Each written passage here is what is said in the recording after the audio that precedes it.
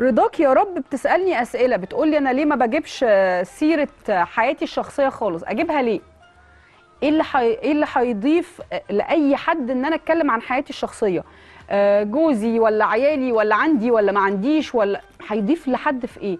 هتسأليني سؤال يضيف لك أو يفيدك؟ يا ربي بصي أتفانى في الإجابة عليه.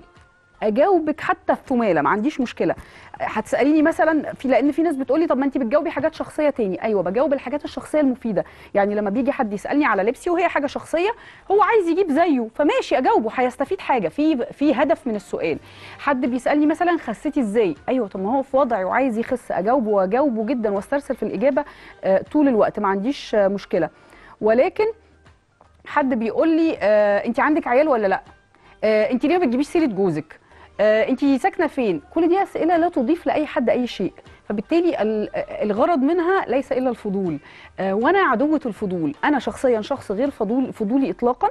عمري ما بسأل حد أي أس... عايزة أقول لكم إخواتي اللي من لحمي ودمي لو هي ما قالتليش الحاجة من نفسها لا يمكن أسألها فيها. ما بحبش الفضول وبحسه إنه من أسوأ الطباع اللي في الدنيا.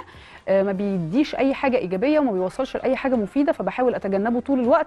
وزي ما أنا ما بحاول أتجنبه طول الوقت مع أي حد أتمنى إن الجميع يتجنبوا معايا. ما دام هو فضول لأجل الفضول ليس إلا.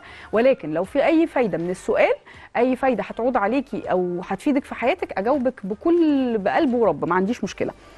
بس يا ستي فدي إجابتي على سؤالك.